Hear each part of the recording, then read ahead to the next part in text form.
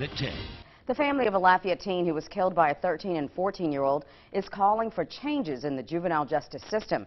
They say the 15th Judicial District is taking a step in the right direction, but more needs to be done. District Attorney Don Landry announced a new change in the juvenile system yesterday. They will now be prosecuting 15 to 17 year olds who commit violent crimes as adults. News 10's Britt LaFaso tells us why one Lafayette family says the laws now it needs to be changed for teens younger than 15 as well. Britt.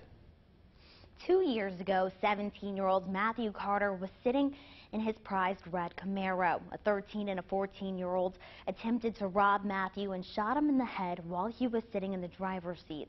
Matthew clung to life for two weeks in the hospital before he ultimately died. Matthew's family says the two young teens who killed him went through the juvenile justice system, but they can't discuss anything about the case. Though they cannot speak on the case, they're calling attention to laws they believe need to be changed.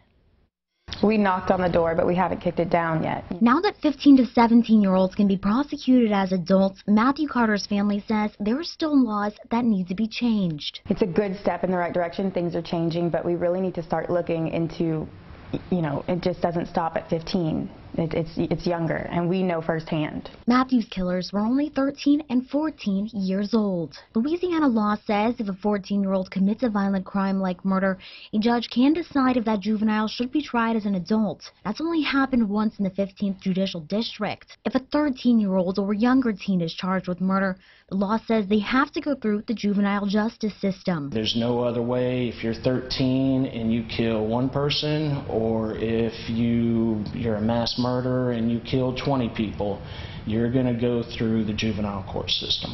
Matthew's father says in juvenile court the max penalty is juvenile life. That means when they turn 21, they're released back into society and their records are sealed. As um, a convicted juvenile murderer, you can go and apply for a job and your potential um, job may run a background check and nothing's going to come back. You, you know, they'll end up hiring a convicted murderer and never know. Jerry Carter says they are not asking for every 13 and 14 year old to be tried as adults.